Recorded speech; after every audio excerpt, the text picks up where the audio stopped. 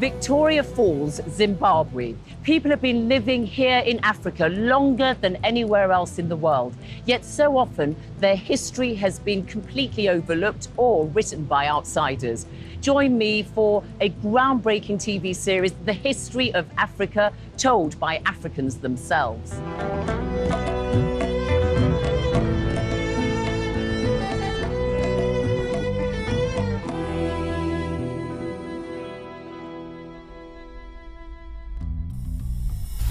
Over the next two months, I shall be taking you on a journey with me, one which I hope you will find enjoyable, informative, and at times even surprising.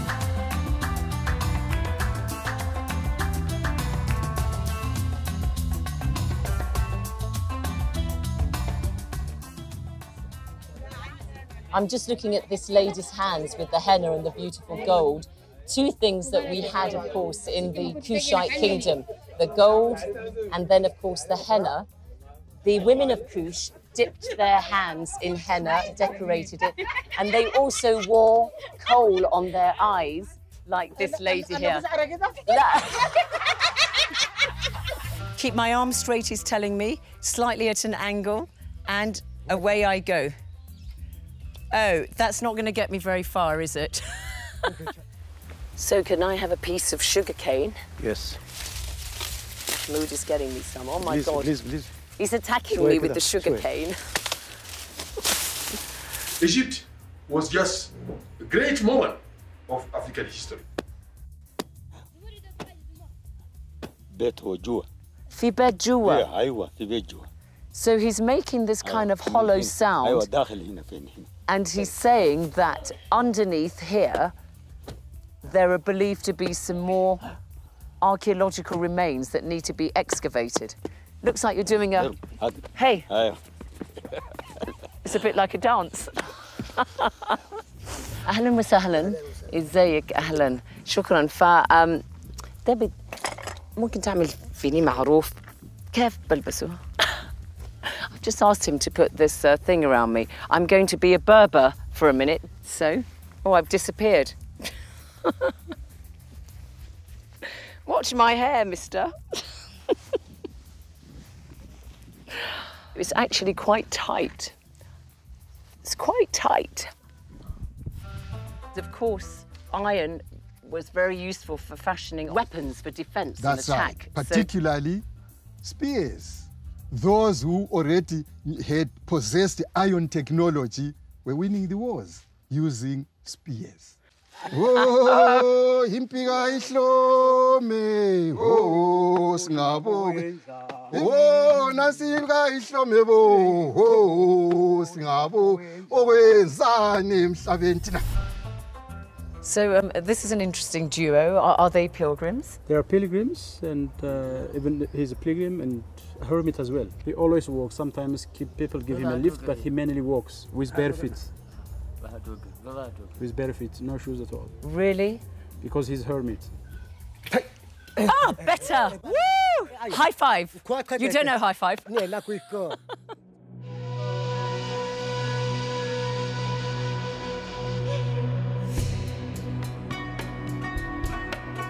I will be travelling across the continent, north, south, east, and west, bringing you a history of the African people, starting from the beginning of humankind through Africa's great early civilizations to the arrival of the major religions and their impact on the continent. We learn about citizens' connections with the past and how African scholars and experts are seizing control of their own history. I'll tell you one critical problem with this world. There are people who think we can understand this world through the eyes of one culture. I don't believe that one. This world is too complex to be understood, interpreted by one culture. But what has happened is there are cultures that think they are superior to others. And their view of this world is the view. This has been the problem. So, science. Which culture are you talking about there? It's that- Western culture, obviously. the Eurocentric group, they always thought of um, Kerma as um, younger than Egypt and always copying Egypt but they didn't give um, Kerma the credit it deserves because Kerma was a very advanced state and its civilization predated Babylon, Rome, and Greece. بتفتكروا يعني هي حضارة إفريقية ولا شيء غير إفريقي؟ أفريقية حضارة أفريقية uh, Iberomaurusian and Neolithic, and then uh, we discover uh, Berber and Imaziren in Morocco. I can tell you, for example, that about 4,000, and it's already perhaps Berber. The views expressed in this history series are based on the fundamental principle of a unique project started back in the 1960s. By then, most African countries had become independent, and some of the continent's new leaders decided that it was time for Africans to reclaim their past and write their own history. There was a belief that Africans' history had been denigrated and dominated by Western scholars. So, at the leader's request, a group of mainly African academics was set up by UNESCO, the United Nations Educational, Scientific and Cultural Organization, to put together Africa's history written from an African perspective. One of the people instrumental in this ambitious project was Senegalese statesman Mokhtar Mbow. The first African to lead a major UN agency, he was Director General of UNESCO for 13 years. He says the resulting volumes, known as the GHA, the General History of Africa, was his most important accomplishment. Durant la colonisation, nous étions considérés comme des êtres inférieurs. J'avais même un maître à l'école française qui nous disait, je répète, vous êtes des nègres, vous resterez toujours des nègres. Et il ajoutait, à blanchir la tête d'un nègre, on perd sa lessive. On leur a appris dans leur jeunesse que nous étions des êtres inférieurs et que nous resterions des êtres inférieurs. Voilà le, le- le problème.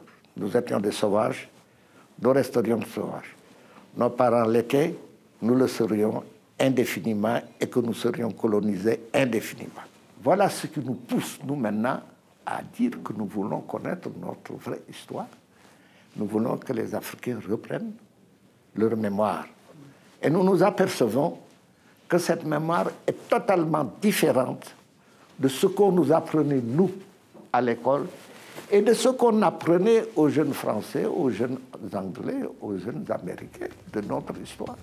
The GHA provides an alternative narrative.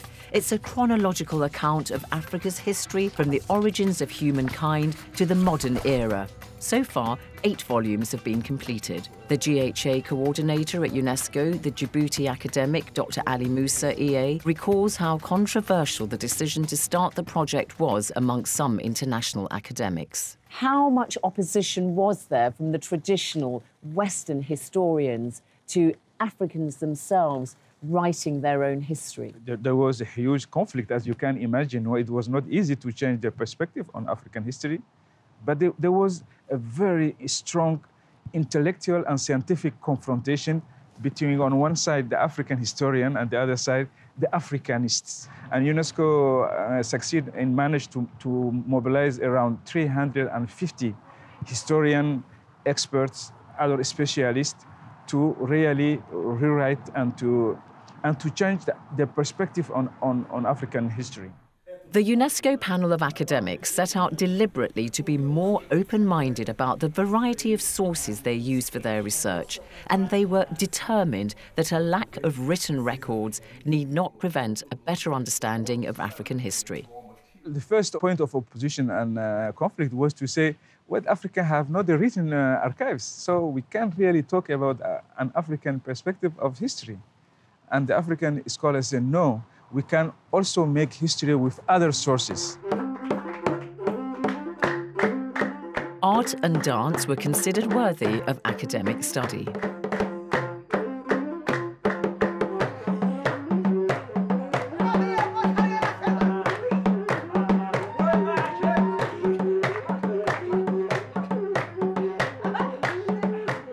Have the advantage of understanding culture, understanding science, and I'm grateful that I did science.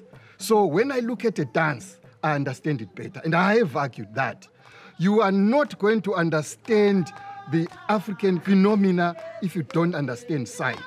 Because our dances, The whole culture is inspired by the cosmos, and the cosmos are characterized by rhythm, seasonality, periodicity. That's what characterizes our culture. So there are many layers when you look at uh, a music, at a performance. The history is, is the people's culture, it's the people's heritage, their values, it's everything. And the oral tradition of storytelling, which has endured throughout the centuries, is an important way of documenting Africa's history. Would tell stories about animals and people, the purpose being that we want them to be entertained, we want them to learn their history, and we want to, to teach them morals, good morals. Were they just stories, or was there also poetry or songs?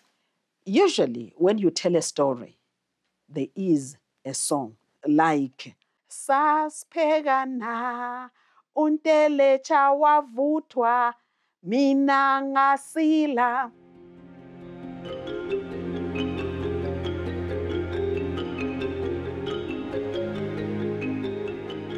Linguistics, geography, the fast developing techniques of archaeology, and the paleosciences are amongst the subjects that can tell us a lot about past African communities. There were also written records which had been overlooked by Western historians, for instance, documents in Arabic, Persian, and Hindi. And people of African descent living outside of Africa, the diaspora, also contributed information that was valuable in putting together Africa's history. African American academic Sheila Walker is one of the editors of the General History of Africa volumes. Well, unfortunately, diaspora Africans every place are pretty much uninformed about their history. There are no educational processes that any place that teach diaspora history in any kind of systematic way. Uh, and so they don't know. On the contrary, in so many cases, the fact that the diaspora has a history has been denied.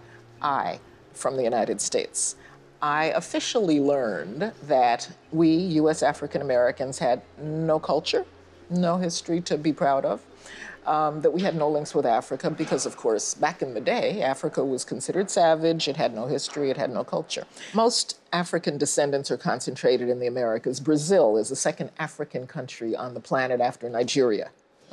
So we are the second, we in the United States are the second African diasporan population, and then I think it's Colombia. So we have Portuguese speaking, English speaking, and then Spanish speaking. After that, it's probably Haiti. Increasingly, we see today that young people across Africa are demanding better teaching of their history. Many black students in South Africa have launched a movement to decolonize higher education. These students at the University of Cape Town want to move away from a syllabus which they believe is still rooted in colonial thinking. I feel like uh, the history that we taught in, in, in South Africa, like the course itself, most of the course that we get taught, uh, it's more Eurocentric. So we don't really get taught about uh, things that happened in the past, like uh, African ancestry, like African religion. We get taught about uh, like our history is on based on Christianity, you know, and Christianity is not African religion. So most of the concept that we, we taught in our history are mostly based on uh, European things. So now what happens like the textbook that the textbook that we study even they're not written by African scholars. They're written by British scholars or like American scholars. So also that has an influence on what we learn. Like so the stuff that we do learn is very much from a European perspective, so it's very untrue and very warped. People need to hear our voices because I think we're really too silent. We just accept everything. I do think like the African history must be changed. The way we are taught history at high school, it must include like the, the African people, like more of our own people so that we can relate more. I'm from Kenya and just like any other country, we're taught history of our country from primary school all the way to high school.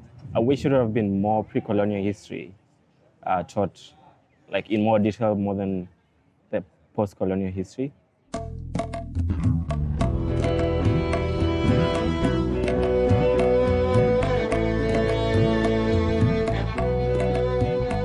Je pense que l'histoire du monde doit être connue par le monde.